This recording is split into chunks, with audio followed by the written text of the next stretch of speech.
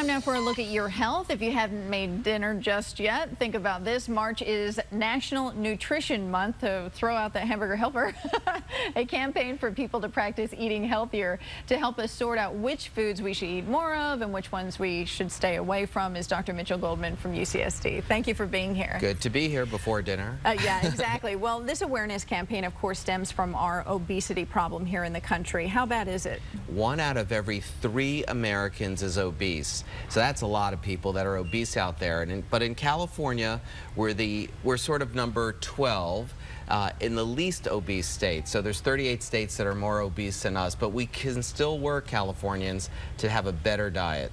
Well, and I think this is important to talk about because it's starting to get confusing because we get such a barrage of information, but you've broken it down into really simple terms. So let's talk about which foods we should eat more of, starting out with whole grains. Yes, instead of the processed grains, so like white bread, whole grain bread. The more grains in the bread, the better, because you're eating a lot of the nutrients in the grain, not just the processed grain, also high in fiber.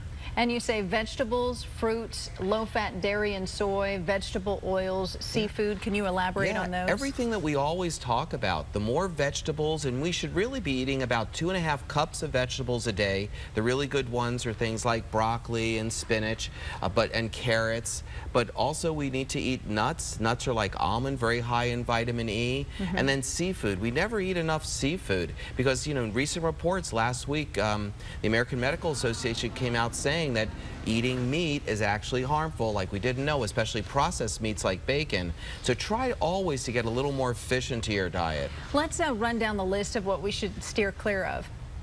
Well, it's basically processed foods you, we want to stay clear of. Foods that are high in fat, potato chips, you know, things like that, and then sugars. As Americans, we eat way too much sugars, way too much processed food. And you have solid fats, refined grains, sodium. And what do you mean particularly about solid fats? Solid fats would be like margarine, lard, things of that sort. If we're going to have fats, canola oils, peanut oils, almond oils, those are the types of uh, polyunsaturated fats that we should be eating. And you know, you can cook with them and do very well with it.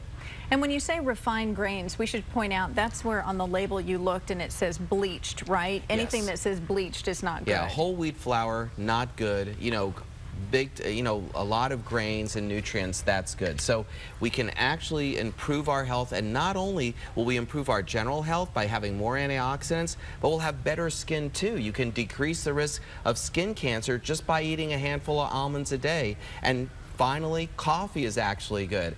Three cups of mm. coffee will decrease your risk of skin cancer. So a lot of good things we could do, glass of wine, coffee, nuts, you know, we don't have to skimp on being happy to be healthy. Yeah, and hair, skin, and nails are really a, a telltale sign of your overall health, so, so that's must, an, good yeah, important. And you must eat wonderfully because oh, your yeah. skin and hair and nails are great. It's called lighting.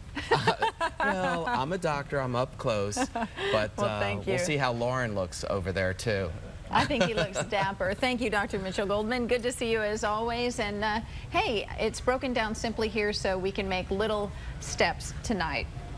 You know, and if you're not a big fan of vegetables, try growing your own and suddenly everything tastes better when you grow it yourself.